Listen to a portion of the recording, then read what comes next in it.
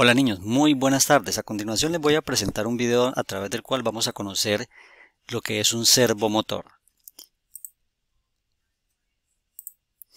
Un servomotor es un dispositivo electrónico que actúa como un motor, el cual gira cierta cantidad de grados en un tiempo determinado. Este motor que, este servomotor que yo les voy a presentar va a girar solamente 180 grados, es decir, va a ser un ángulo llano en el que va a girar este servomotor 180 grados. O sea, no va a dar toda la vuelta. Y cuando yo digo que gira 180 grados, es lo siguiente. Mira el servomotor aquí. En la parte superior tiene como una especie de hélice, como un helicóptero, y esto es lo que gira 180 grados solamente.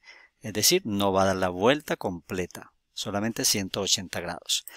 Vamos a ver cuáles son las partes de un servomotor. Un servomotor en principio o en primer lugar tiene la hélice como les explicaba, que es la que gira. Luego va a tener una caja de engranajes.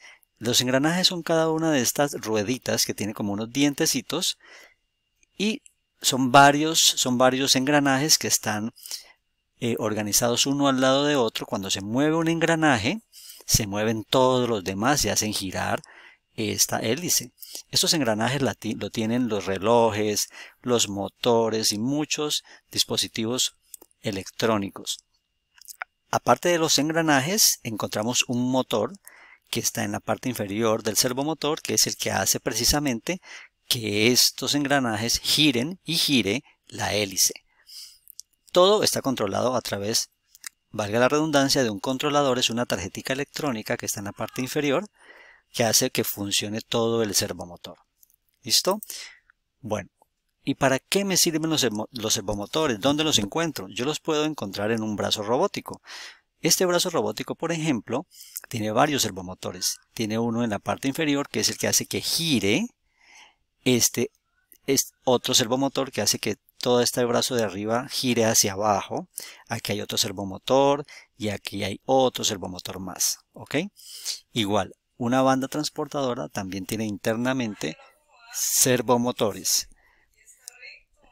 Es decir, internamente esta banda gira, ¿sí? como las escaleras eléctricas, y hace que la banda gire por ejemplo, en los aeropuertos para poder desplazar las maletas también es, estos dispositivos tienen internamente servomotores.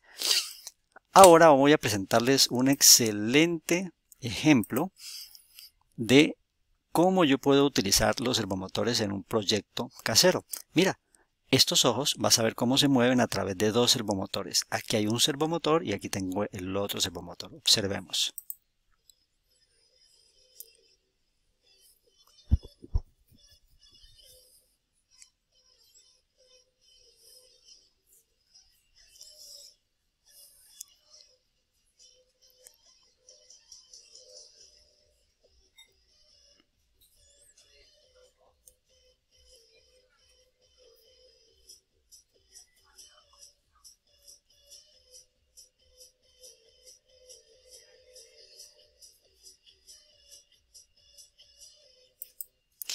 Aquí los ojos se mueven de arriba para abajo por este servomotor y luego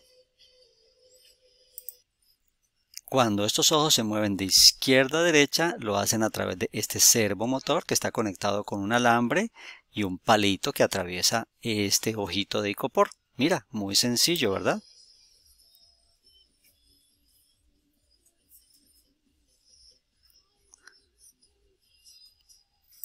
Excelente.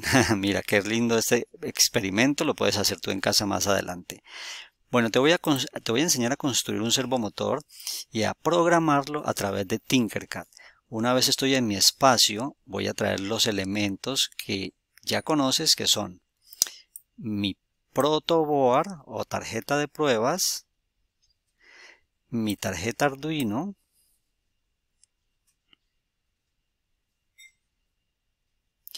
Y míralo, por aquí abajito está microservomotor. Este, perfecto, ya lo tenemos. Listo, no es más, no necesitamos nada más para nuestro ejercicio. Vamos a hacerle un zoom aquí y vamos a hacer lo siguiente. Mira, el servomotor se conecta muy facilito. Tiene tres pines o tres cablecitos. Este es muy claro, me dice que es de tierra. Entonces yo lo voy a llevar aquí a tierra en nuestra protoboard. ¿Listo? Para no tener que llevarlo directamente hasta el GND. Luego, por acá me dice que necesito potencia. Cuando te muestre algo llamado potencia, siempre es un cable que tenemos que llevar hasta 5 voltios. Vamos a hacer más pequeño. Movamos un momentico aquí. Volvamos a hacerlo. Organicémonos más. Perfecto. Eso está mejor. Vuelvo a hacerlo. Te decía que potencia es un cable que siempre va a ir a la tarjeta Arduino donde diga 5 voltios. Potencia es como el cable que le permite dar electricidad a este dispositivo. Entonces lo vamos a llevar a 5 voltios. Normalmente la potencia voy a pintarla, el cable de potencia de rojo y este de acá de tierra o negativo lo voy a pintar de negro. Generalmente estos son los colores que deben tener. Y por último hay algo llamado señal. La señal va a ser un cable que voy a llevar al pin número 3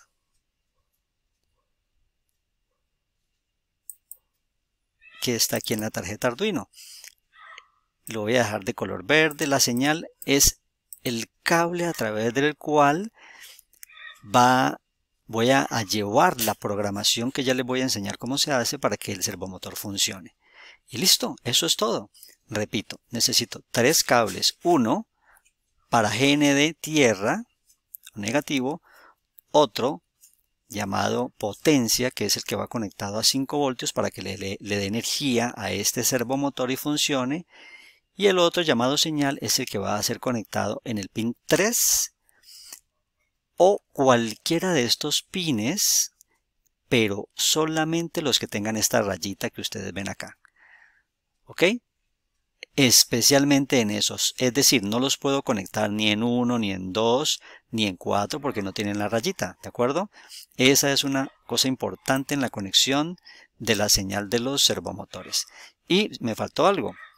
Necesito conectar mi tarjeta, mi protoboard, en la parte negativa al GND de la tarjeta Arduino. Como les decía, ese cable siempre va a ser negro. Listo. Una vez tengo ya conectado mi servomotor lo voy a programar. Vamos a ir a código. Listo, borro esto acá, está la caneca de basura. Bien, escúchame bien, lo primero que debes hacer es lo siguiente. Vamos a ir a variables, voy a darle crear variable y vamos a crear una variable llamada giro. Aceptar. Esta variable hace lo siguiente. Voy a tomar este bloque llamado definir giro en cero. Esto significa que mi servomotor que está acá va a comenzar en cero. Es decir, no va a empezar, va a empezar eh, ubicado en cero grados, es decir, sin movimiento. ¿De acuerdo? Así siempre debe empezar. Listo. A continuación, lo que voy a hacer es traer el siguiente bloque. Voy a ir acá a donde está control. Voy a bajar. Voy a ampliar un poquitico este espacio y voy a traer algo que se llama contar. Contar es algo muy sencillo, mira. Yo necesito que esta hélice me gire hasta 180 grados como ya sabes y va a empezar en cero. Yo quiero que empiece a girar eh, hacia arriba, es decir, va a empezar a girar en números positivos, por ejemplo 0, 1, 2, 3, 4. Eso significa arriba. O sea, en orden ascendente. Si yo le pongo abajo, empezará, por ejemplo, 10, 9, 8, 7, etc. Y aquí este 1 significa que el giro va a ser de 1 en 1. O sea, 0, 1, 2, 3, 4. ¿Y qué voy a decir aquí? Voy a escoger la variable giro y voy a decir que el giro de mi servomotor va a ir desde 1 hasta 180 grados. Entonces aquí escribo 180 y listo. Repito, este contador hace lo siguiente, me cuenta los giros en números positivos de 1 en 1 y el giro va desde 1 hasta 180 grados. Y por último le digo en salida un botón o un bloque que se llama giro servomotor en el pasador, bueno, donde está conectado el cable de señal, el verde, míralo, este verde que es el 3 es el que va aquí. Girar servo en el pasador 3. Es decir, mi servomotor que está conectado al pasador 3 va a girar de acuerdo a lo que diga la variable giro. Me explico. El servomotor empieza desde cero, o sea, la variable giro comienza variando cero, es decir, él va a estar quieto. Luego va a empezar aún incrementando el giro. De 0 pasa a 1, de 1 pasa a 2, de 2 pasa a 3 hasta que llegue a 180 grados y es cuando él se mueve hasta el otro lado. Y finalmente le voy a decir que se detenga un poquito Acá le voy a decir que espere menos de un segundo, o sea, 10 milisegundos. Es como una, una parte muy pequeña de un segundo. ¿Listo? Eso es todo. Vamos a mirar cómo funciona nuestro servomotor. Iniciar simulación. Y mira, él comienza girando. Ahí va despacio. Ahí llegó a 180 grados y vuelve y comienza otra vez los giros. ¿De acuerdo? ¿Sí? Quiero que gire más rápido, entonces pongámosle 2 milisegundos.